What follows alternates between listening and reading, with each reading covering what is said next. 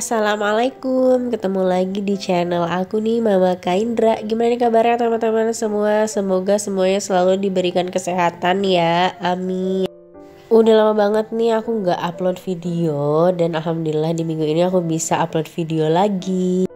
Di video kali ini aku mau sharing tentang keseharian aku sebagai ibu rumah tangga ya teman-teman. Lebih tepatnya ini ya kegiatan aku waktu pagi-pagi. Jadi aku tadi bangun jam setengah enam, kebetulan aku lagi nggak sholat, jadi agak telat gitu bangunnya dan sudah dihadapkan dengan ruang bermain anak yang subhanallah berantakan sekali ya teman-teman jadi ini tuh uh, bekas Kaindra main waktu malamnya. Dan masya Allah ya dia aktif sekali. Alhamdulillah ruangan berantakan. Kalau misalnya nggak berantakan itu berarti tandanya tuh dia lagi kenapa-napa nih. Lagi sakit atau lagi merasa nggak enak badan. Jadi kita harus bersyukur nih teman-teman kalau misalnya ruangan itu berantakan sama anak Ya walaupun kita sebagai ibu tetap pasti bolak-balik ngeberesin lagi Terus berantakan lagi ya nggak apa-apa ya. Namanya juga masa anak-anak Dia masih mengeksplor semua barang-barang gitu. Jadi punya imajinasinya yang luar biasa untuk ngeberesin mainan-mainan Kendra ini tuh aku berusaha untuk mengorganisirnya dengan baik agar kalau misalnya mau cari mainan tertentu itu aku bisa langsung ambil. Jadi nggak perlu bongkar-bongkar lagi gitu. Jadi ditata dengan baik dan dikelompokkannya dengan baik juga dan kelebihannya juga kita tuh tahu gitu mainan apa aja yang dia udah punya atau enggak mainan mana nih yang hilang atau enggak ada di tempatnya. Jadi lagi berusaha buat mengajarkan anak lebih apik gitu. Jadi dari mulai kecil aku tuh udah membiasakan kalau misalkan ngambil mainan satu-satu dulu terus nanti ditaruh ya walaupun prakteknya mah langsung di abru-abruin aja gitu ya tapi kan seenggaknya dia selalu mengingat apa yang orang tuanya katakan ya. Dan e, sedikit demi sedikit itu bisa tertanamkan lah ya karena makin ke sini tuh dia paham kalau misalnya mau ngambil mainan ini di rak yang mana kalau mau ngambil mobil ini di mana gitu. Jadi lebih terorganisir bagi dia. Jadi nggak usah nanya-nanya mamanya mau ngambil mainan itu di mana. Nah untuk mengorganisir permainannya ini aku pakai plastik-plastik biasa aja ya seadanya aja. Jadi yang penting dia tuh terkelompokannya dengan baik. Jadi buat mudah untuk ngambilnya gitu. Dan kalau kayak gini tuh kita jadi mikir ternyata mainan Kena itu udah banyak gini ya. Jadi kalau misalnya beli mainan kita tuh harus pikir-pikir lagi deh. Karena tempatnya udah penuh gitu. Alhamdulillah udah beres beresin mainan Kendra. Lanjut ke dapur menyiapkan sarapan dan bekal Pertama yang harus dilakukan itu adalah masak nasi ya. Jadi ini nasinya masih kering gitu. Aku lupa buat ngerendam si apa bekas nasinya waktu malam. Jadi direndam dulu sebentar. Sambil ngerendam ini aku ngangetin sayur dan tumis tempe kikil yang udah dimasak di hari sebelumnya dan waktu malamnya ya. Jadi aku di pagi ini tuh nggak masak sama sekali, cuman ngangetin aja karena tinggal ngingetin aja jadi tuh aku tadi diawali sama beberes dulu. Biasanya itu masak dulu baru beberes. Karena kalau misalnya eh, belum masak itu nggak akan keburu deh beberes dulu gitu. Dan sebenarnya tuh aku pengen mulai membiasakan diri untuk beberesnya itu malam-malam gitu. Jadi ketika bangun pagi itu rumah tuh udah dalam keadaan rapi. Karena akan berbeda nih mood ketika mood pagi-pagi ya ketika kita itu bangun dalam keadaan rumah masih berantakan sama dalam keadaan rumah itu sudah rapi pasti itu moodnya akan berbeda gitu. Dan aku udah pernah merasakan kalau misalnya udah dalam rapi itu lebih lebih semangat aja gitu. Cuman kendalanya aku masih suka mager gitu kalau malam-malam.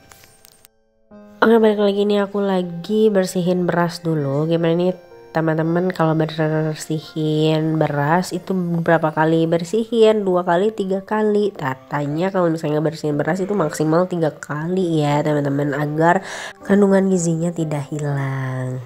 Nah kalau dilihat nih posisi dari rice cookernya agak lebih tinggi ya. Jadi kalau misalnya aku ngambil nasi dari sini tuh harus agak jengkek gitu buat ngelihat nasinya karena waktu itu salah peng, salah memprediksi gitu kalau raknya itu tingginya segitu.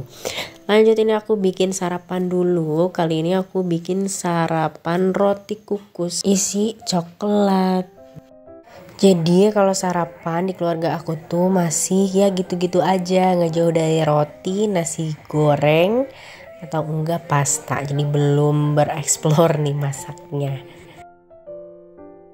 kadang suka berseliweran tuh ya di reels Instagram itu uh, masak-masak yang enak-enak buat sarapan gitu ya. Mudah-mudahan nanti aku bisa bikin-bikinan seperti itu. Oke ini nasinya alhamdulillah udah mateng. Kalau udah mateng jangan lupa kita aduk-aduk dulu nasinya agar tidak cepat bau ya. Atau agar nasi itu lebih tahan lama Nah ini sekalian aku sambil nyiapin uh, bekal buat suami ya. Bakal sederhana aja yaitu sama tumis tempe kikil pakai kecap terus sama abon dan juga sama sayur sawi plus baso.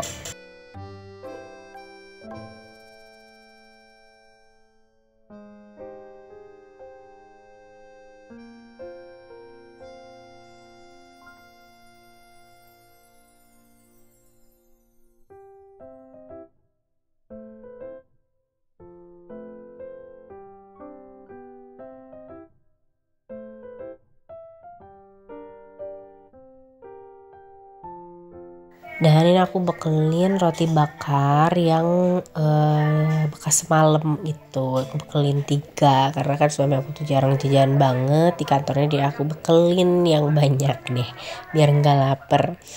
Nah ini udah mateng roti kukusnya roti kadet, kalau di sini tuh disebutnya roti kadet ya. Jadi roti kadet ini ternyata harganya murah ya teman-teman. Jadi aku beli di pasar itu Rp9.000 dapat 6 pieces. Oke waktunya untuk sarapan di pagi hari Nah ditemani sama teh manis hangat ini buat suami aku ya Nah kalau aku lagi mengurangi gula-gula kebetulan Karena memang berat badan setelah di rumah aja menaik ya jadi harus dikontrol.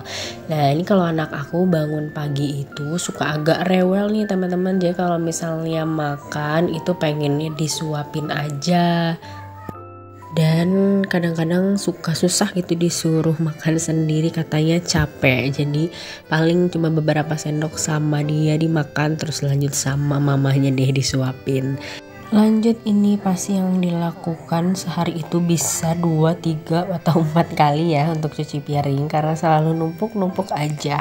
Jadi ini tuh cucian piringnya tuh dari semalaman ya teman-teman. Jadi ini udah numpuk gitu. Ini tuh nggak masak padahal ya, tapi cuciannya udah segini banyak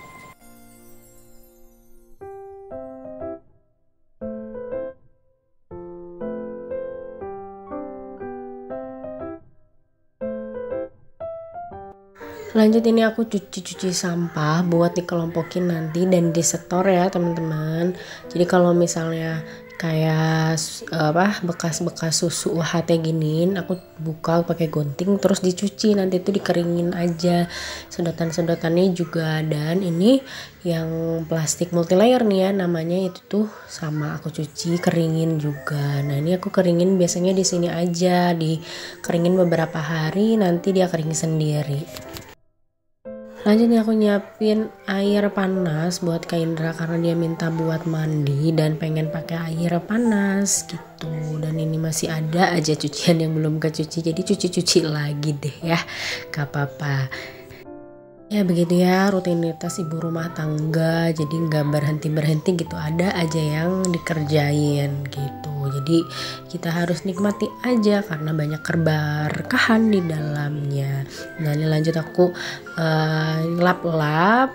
Biar semuanya itu bersih ya teman-teman. Karena kalau misalnya dapur bersih ruangan bersih itu akan membawa mood yang berbeda pada kita. Jadi nggak bis nggak males-malesan lebih semangat gitu kan ya